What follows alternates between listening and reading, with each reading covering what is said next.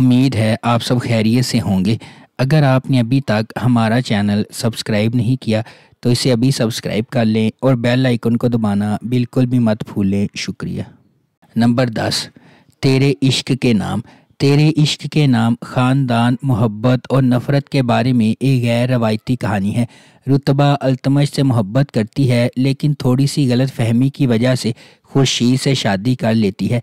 नाकाम शादी का तजर्बा करने के बाद जब अल्तमश इसके पास वापस आने की कोशिश करता है तो इसे खुर्शीद के लिए अपनी बेपनाह मोहब्बत का एहसास होता है। क्या खुर्शीद इसके कफ़ारे का ख्याल रखेगा? अब सवाल है, इससे पहले कि ज़िंदगी आपको अपने पास मौजूद चीज़ों के लिए शुक्रगुजार होना सिखाए, इसे आसानी से सीखें। नंबर नौ फेरी टेल फेरी टेल की कहानी उम्मीद के गिर्द घूमती है। एक नौजवान मतवसत तबके की लड़की जो शहजादी की ज़िंदगी गुजारने के ख्वाब देखती है और वो हमेशा अमीर बनने के लिए फौरी स्कीमों की तलाश में रहती है। इसकी ज़बरदस्त जस्तजू में, उम्मीद की गोद में एक शानदार चीज़ गिरती है, जब इसे एक शो का दावतनामा मौसूल होता है, जो इसके ख्वाबों को पूरा करने का वादा करता है। लेकिन इसे जल्द ही एहसास हो जाता है कि हकीकी ज़िंदगी में कोई परियाँ या जादुई मंत्र नहीं होते और हर चीज़ की कीमत भारी होती है। बेखौफ उम्मीद अपने ख्वाबों को हकीकत बनाने के लिए एक सफ़र पर निकलती है अजीबो गरीब किरदारों का सामना करती है और ज़िंदगी, रिश्तों और खुशी के बारे में कीमती सबक सीखती है। अपने दोस्तों और ख़ानदान वालों की मदद से उम्मीद को पता चलता है कि ज़िंदगी में असल जादू अंदर से आता है। नंबर आठ, मुझे प्यार हुआ था। मुझे प्यार हुआ था, माहिर, साद और अरीब के दरमियान लव ट्रायंगल पर मबनी है। साद हमेशा से अपनी कज़न माहिर से मोहब्बत करता रहा है, लेकिन जब वो इससे इसका एतराफ़ करने में नाकाम रहता है तो ज़िंदगी एक मुख्तलि मोड़ लेती है और अरीब फ्रेम में दाखिल होता है। थोड़ी सी गलत फहमी की वजह से मामला टूटने लगते हैं और मोहब्बत करने वालों के दरमियान एतमाद टूट जाता है। अपने वालदेन की इकलौती औलाद होने के नाते हानिया अमर बतौर माहिर अपने ख़ानदान की तमाम मोहब्बतें जमा करती है। वो सादा, मासूम और शाइस्ता है। वो पैसे और मादी चीज़ों पर मोहब्बत और एहतराम को तरजीह देती है। नंबर सात, मायरी। मायरी एक गैर मामूली तहरीर करदा ड्रामा है, जिसकी कहानी मुआशरे के बसीदा ताने बाने को उजागर करती है। कम उम्री की शादी एक ऐसा मसला है जो हमारे मुआशरे में राइज है और मायरी इसे खूबसूरती से पेश करती है।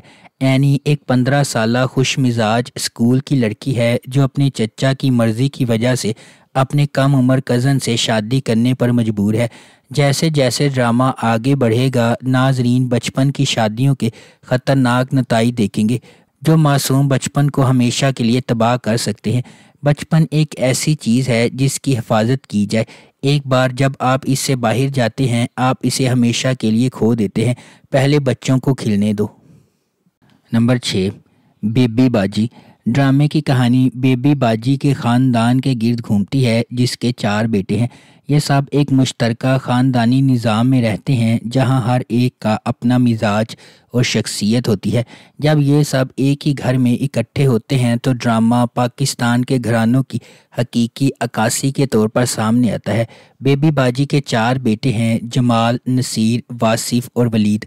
आखिरी दो गैर शादीशुदा हैं, जबकि बड़े शादीशुदा है। अजरा सबसे बड़ी बहू है, जो हमेशा मसाइल पैदा करती है। मजमू तौर पर यह पाकिस्तानी मुश्तर ख़ानदानों की खुशियों, मज़ा, जज्बात और चैलेंजेस का एक मुकम्मल मजमू है। नंबर पाँच, मोहब्बत गुमशुदा मेरी। इस ड्रामे का प्लॉट दो नौजवानों, जूबिया और साइम के गिर्द घूमता है। इनके किरदार खुशहाल खान और दना नीर मुबीन ने अदा किए हैं। ये दोनों पड़ोसी हैं जो एक दूसरे से प्यार करते हैं। इनकी मोहब्बत की कहानी एक साथ की सीरीज़ के ज़रिए नाजरीन को हंसाने, खौफजदा करने और रुलाने वाली है। कहानी इनकी प्यारी लड़ाई और एक दूसरे के लिए अपने जज्बात का इजहार करने में नाकामी से शुरू होती है। जूबिया और साइम एक दूसरे से दिल से प्यार करते हैं।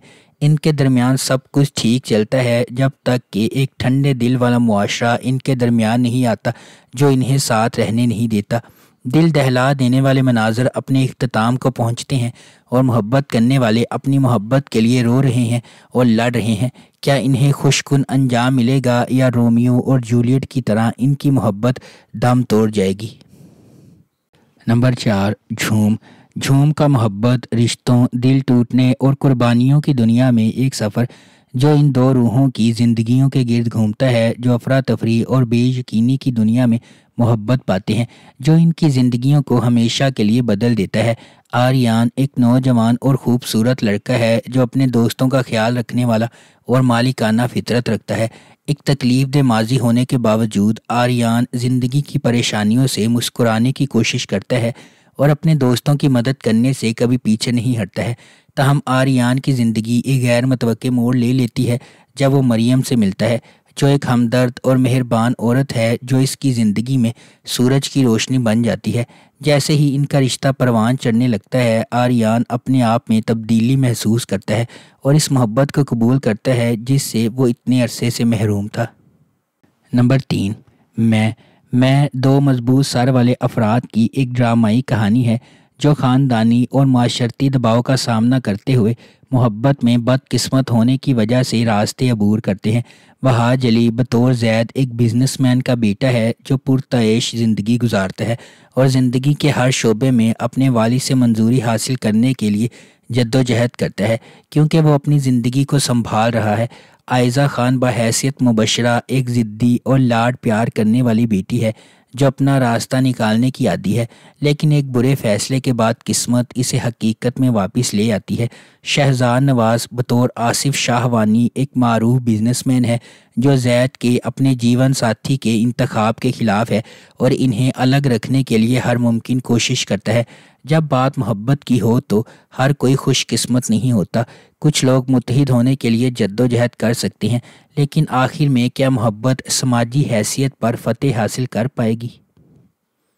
नंबर दो अहराम जुनून अहराम जुनून शानजे नामी एक नौजवान और बेहद खूबसूरत लड़की की कहानी की पैरवी करता है। जो अपनी आला तबके की परवरिश की वजह से गुरूर और ज़िद से भर जाती है। शानजे का मानना है कि पैसा खुशी समेत हर चीज़ खरीद सकता है। अपने आला मैार के बावजूद शानजे को अभी तक कोई ऐसा आदमी नहीं मिला जो इसे मुतासर कर सके। जब तक कि वो किसी तकरीब में शयान से नहीं मिलती। शयान एक मतवसत घराने से ताल्लुक़ रखने वाला एक खूबसूरत नौजवान है, जो पिज़्ज़ा डिलीवरी बॉय के तौर पर काम करता है ताकि अपना पेट भर सके। शानजे जो फौरी तौर पर शयान की तरफ़ रागिब होती है, वो इसे एक बेहतर तर्ज ज़िंदगी फ्राहम करना चाहती है। तहम शयान अपना फासला बरकरार रखता है और शानजे की किसी भी पेशकदमी को कबूल करने से इनकार कर देता है। नंबर एक, तेरे बिन मीरब एक पुरजोश और ख़ूबसूरत नौजवान लड़की है, जो अला तालीम हासिल करना चाहती है। इसकी पूरी दुनिया इसके वालदेन के गिर्द घूमती है और वो इन पर सबसे ज़्यादा यकीन करती है। इसकी मज़बूत और पुरमाद शख्सियत इसे अपने आस पास की समाजी नाइंसाफ़ियों के ख़िलाफ़ खड़ा करती है। इसके बरक्स मुतसिम का ताल्लुक एक ताकतवर और बासर ख़ानदान से है। वो अपने ख़ानदान के अखलाक और रवायात का एहतराम और कदर करता है और ख़ानदान को नीचा दिखाने से इनकार करता है। मीरब की ज़िंदगी एक गैर मतवक़ मोड़ ले लेती है जब इसे अपनी और मुतसिम की ज़िंदगी के बारे में, अपने ख़ानदान के फ़ैसले के बारे में पता चलता है। मुतसिम के ख़िलाफ़ मीरब की नफ़रत माजी के एक ख़ानदानी राज के तौर पर बढ़ती जा रही है। अगर आपको हमारी ये वीडियो पसंद आई है तो इसे लाइक करें, शेयर करें और हमारे चैनल को सब्सक्राइब करना बिल्कुल भी मत भूलें। शुक्रिया।